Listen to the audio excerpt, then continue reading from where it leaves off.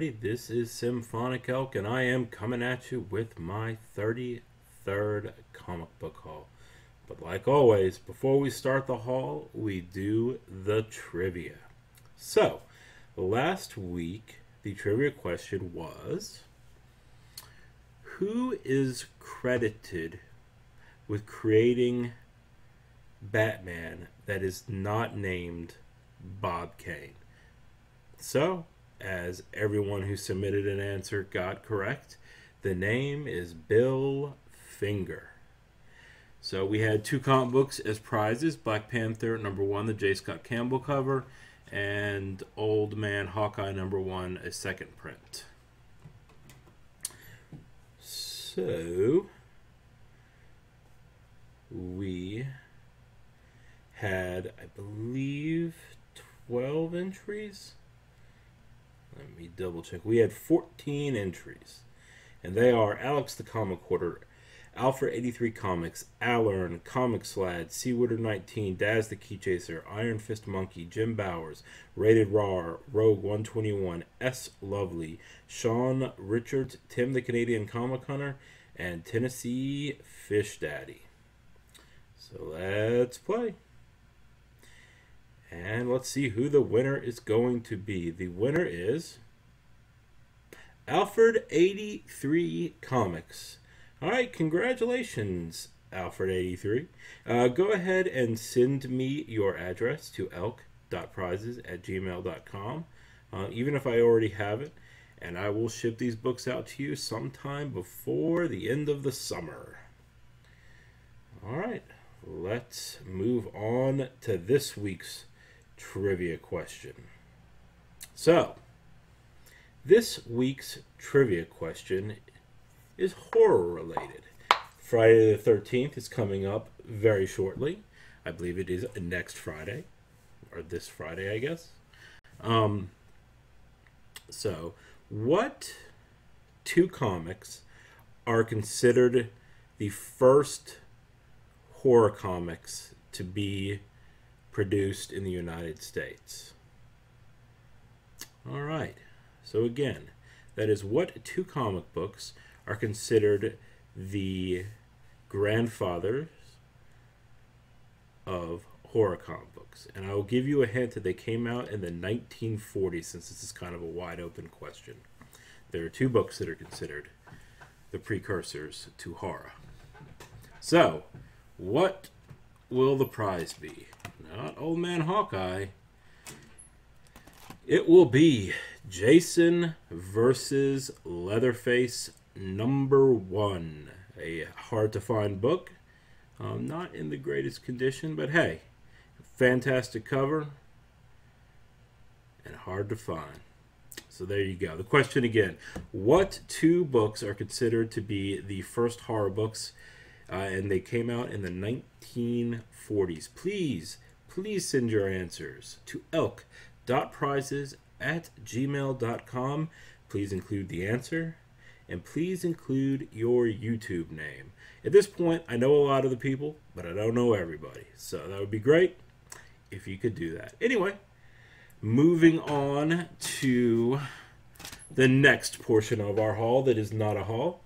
Um, as I did earlier today in my live stream, um, I added prizes to the prize pool for the St. Jude's fundraiser. Um, link in the description.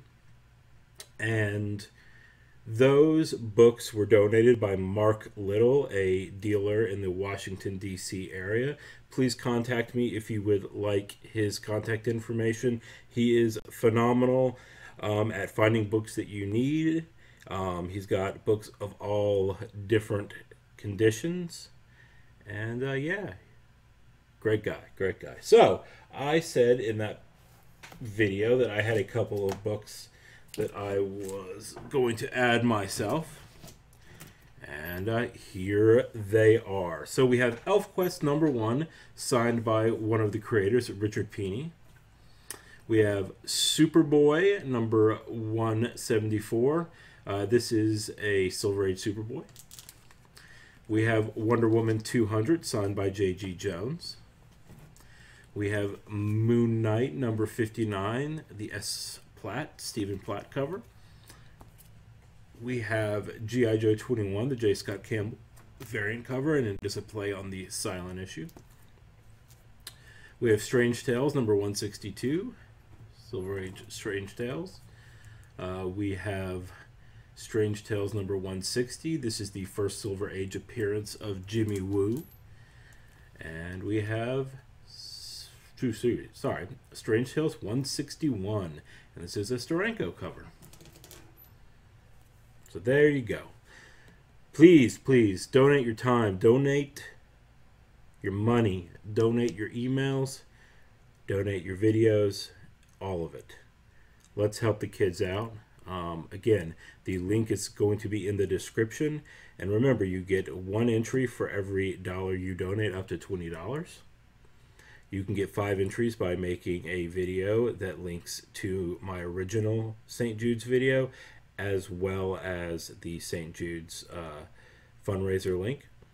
And you can also get five entries by sending out an email to at least five of your friends, and please include me on that email, um, asking them to donate to this worthwhile cause. Anyway, thank you, and I will be back in a minute with all. Have a good one see you in some seconds. Hi, everybody. I am back, and it is time to start the haul. Um, unlike normally, we are going to start with something a little bit different. So, here you see page 10 from the Joker's Apprentice that was uh, done by uh, the artist was Trevor Von, Trevor Von Eeden and uh, inked by Josef Rubinstein. And will you say, well, why do I have this? Well, I have this because I picked up the original art for this page. Um, one of my buddies who is a collector of original art had this, um, gave it to me for a good price. Um, I picked it up because it was a Batman book and because it has Joker in a couple of spots. I know it's kind of hard to see because it's tall, but uh, yeah, super, uh, super thrilled to have my first piece of original, original art. All right, so let's start with the haul. We're gonna go ahead and start with indie titles. Well, I'll be back in a moment. Dog barking alert.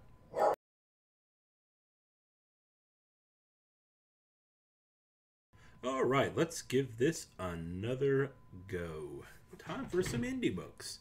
So here we have uh, Skyward number one. This is the premiere issue. It has already been optioned to be either a movie or a TV show. I've showed this a couple of times. a couple of these issues. When I see them for cover price, I usually pick them up. Uh, there we have G.I. Joe, A Real American Hero, number 21, the J. Scott Campbell cover. And you may ask, didn't I just see this as part of the giveaway? And you are right. I picked this up for $6. And when I opened the bag, I realized there were two copies of it. So, yeah, pretty crazy. Uh, I picked up the Michael Turner variant cover for G.I. Joe number 33. Just really like it. There is a Graham Cracker exclusive, I think two. One with like just a foil G.I. Joe and one with an entire foil cover. They are much, much more expensive than this one. Uh, went ahead and picked up Afterburn number one. It's a Garth, uh, well, it's not a Garth Ennis book. Um, but it's been optioned for a movie with Gerard Butler playing the lead. Um, against my better judgment, I picked up um, the Manara um, variant cover for Unnatural. I don't really know what to think about that. All right. Uh, picked up Spawn 287, the Mattina variant cover. Also picked up the Jason Shawn Alexander variant cover for 287. Picked up a couple of uh, Spawn newsstands. Uh, so this is number 12. It's the first appearance of Jason Wynn. Um, number 16, the first appearance of Anti Spawn as a cameo. and number 17, the first uh, full appearance of Anti-Spawn. And again, these are all newsstands. Uh, picked up the Walking Dead uh, Bill Sienkiewicz cover uh, for 181. I I have walk, tons of copies of Walking Dead 100. I also have a couple copies, I think, of the third printing. For some reason, I never picked up the second print. Went ahead and found this for a good price, so I picked it up. Um, picked up the gold variant of X-O Manowar uh, one half from Wizard. Um, the non-gold variant's got purple here. Um, it is less than 2,500 of these exist. I picked up Shadow Man number two, the good, the bad, and the very ugly variant cover. It's one in five and was a retailer incentive. Super, super, super, super rare.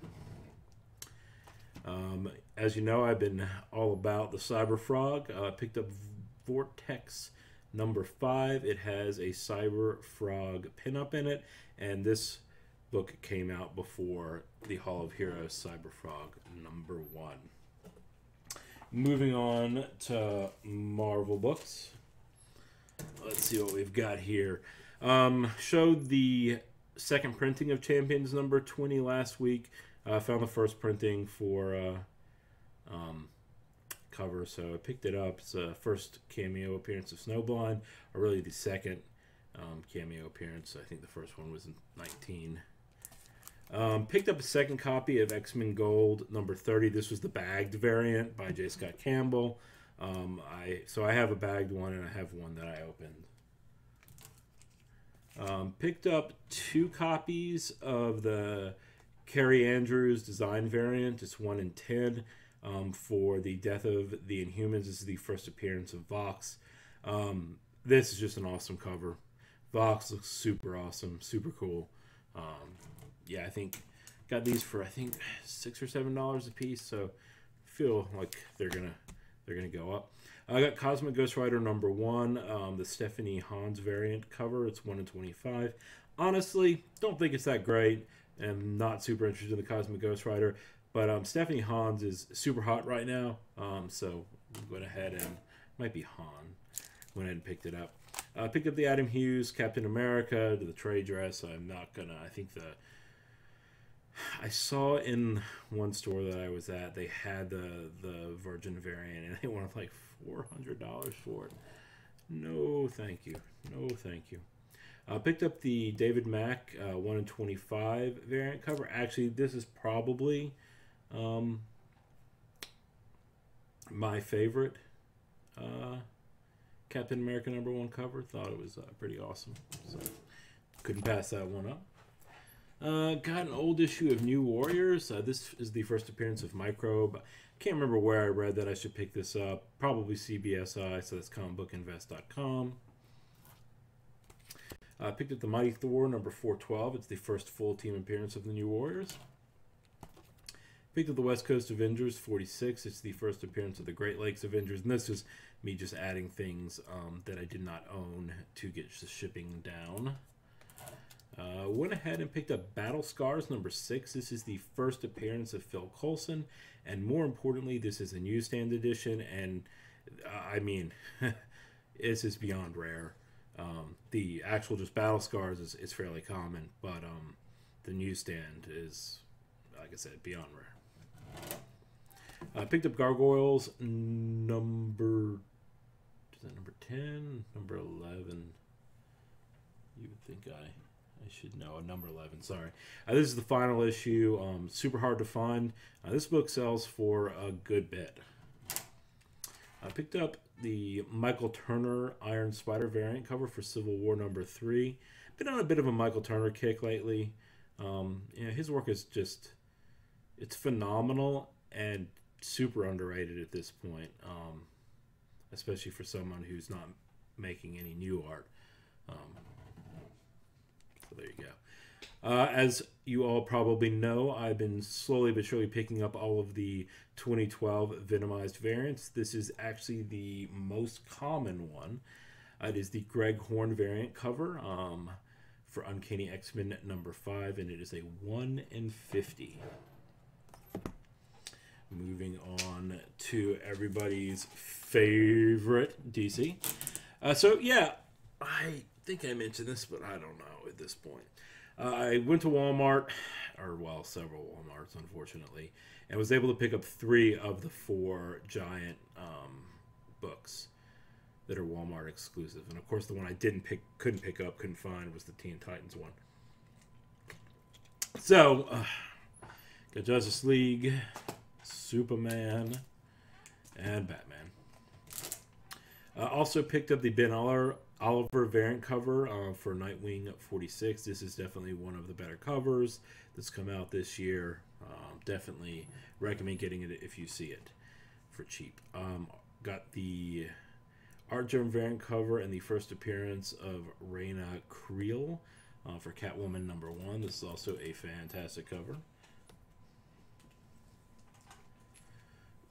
Got the Mattina cover for Deathstroke 33. Um, I got the Jim Lee cover for Batman 50. And I got Justice League number one, signed by Scott Snyder, Midtown Comics. Got the other Justice League number one, Scott Snyder again, Midtown. Picked up two copies of Teen Titans Special, the first appearance of Crush. Believe it's a cameo appearance. Picked up Supergirl number three. I recommend picking this one up. This is the Michael Turner cover. There's two of them. This is the also the first appearance of Dark Supergirl.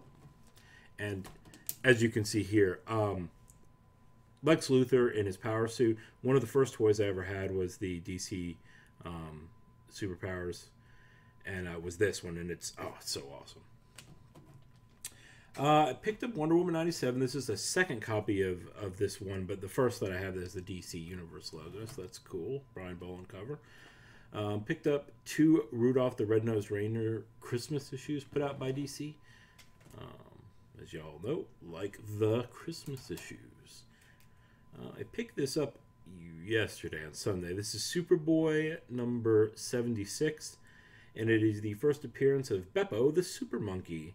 Uh, I like to get the first appearances of the Super Pets. Um, I think they're kind of silly, um, and they're you know fairly cheap for you know first appearances. And to finish it off for this week, I got the Jim Lee 1 and 100 variant cover for Batman 50. And I was able to get this fairly cheap, um, as it's been you know discussed ad nauseum. Um, people were disappointed about how this ended, and therefore it suppressed the prices of the variants, the ratio variants, and the store variants, um, and made what was normally a probably going to be a hundred to hundred and fifteen dollar book um, significantly cheaper. So yeah, that is all I have for today. Please donate your time, money, or I guess good thoughts and prayers uh, to the kids at St. Jude's. And uh, yeah, thanks for listening. Thanks for watching. And thanks for spending a little bit of your day with me. Have a good one. Goodbye.